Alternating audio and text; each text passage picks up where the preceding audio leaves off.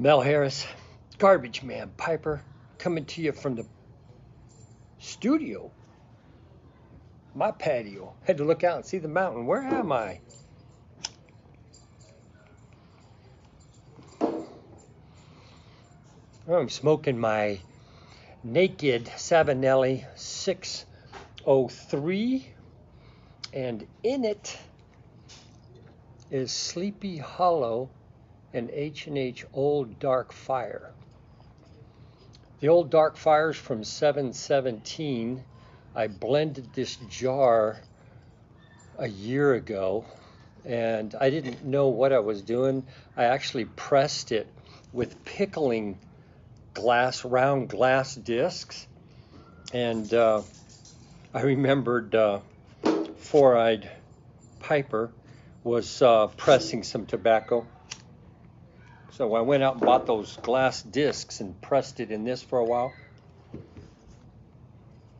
That is what I have left of last year's blend. I gave a bunch away.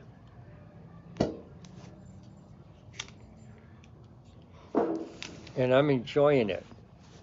Um, it's interesting how our tastes change because um, a year ago, well, let's say today, and I just blended a bunch, and honestly, I wished I had to do it over again.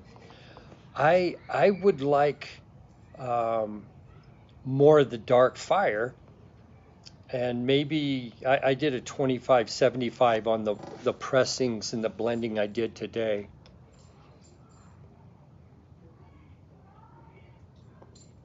And I have to say, I wish I had more dark fire in in the one I did a year ago. But what's done is done. I pressed up eight ounces in freezer bags in two ounce. I put that one bottom of the barrel because I'm figuring there's probably more dark fired down at the bottom because I cut it up in little eighth inch cubes. So I'll be putting that away until I'm done smoking this up, which, shoot, that might get me through the holidays. I don't smoke it all that much. But, uh, yeah, it's. I was watching James Long and uh, uh, Johnny 2 a.m. Pipe on the patio, and they've been doing, you know, 60 40 and 50 50. And I'm thinking, wow, that's too much. That's too much. But now that I'm smoking my last year's blend, I'm going, yeah, I probably should have used the Sleepy Dark Hollow to flavor the old Dark Fire instead of the old Dark Fire flavoring the Sleepy Hollow. But like I said, what's done is done. So I'll put that away. One thing I did do and I wanted to try is I had some Orlik Dark Strong, and I thought, and it, it was a um, a broken flake, and I thought, you know what? I think I am going to try what Dark Strong I had left in a jar, weighed out to be, I think, about an ounce, and uh, took some of that uh, this year's Sleepy Hollow, and I put it in a press so it's dark strong, dark strong hollow, and it's a 25 dark strong 75% sleepy hollow. Put it in there today. the last time I used this was a bit of a nightmare. I did not use the wax paper as uh, Johnny has done in the past, but I did this time.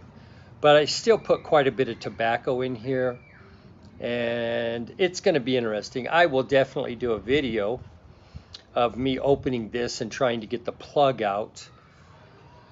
Um, we'll see. So, anyways, just wanted to share that. I know there's been some videos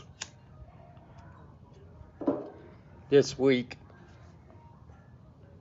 on Old Dark Fire and Sleepy Hollow, now named Dark Hollow. This one's named dark strong hollow. That way I know what's in it. But uh, looking forward to the holidays here in El Paso. The weather is uh, it's nicer than it's been. We've had some rain, which cooled it down. The high was 75. I don't remember the last time we had a 75. Maybe early mid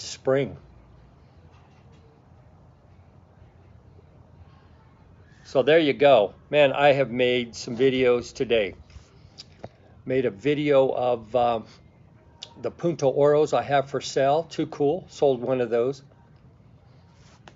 Made a video of the Castellos that I have for sale. Too cool. Sold one of those. So very that's that's nice. It's nice to be able to move some of those pipes and maybe even now already be able to go shopping for uh, a 602 or a 626 Punto Oro 9 mil. So I'm digging that. Listen, that's all I got. Just mainly wanted to uh, get in on the dark hollow bandwagon and say Mel Harris, Garbage Man Piper, sweet chicken baby. Go Texans. You all be safe out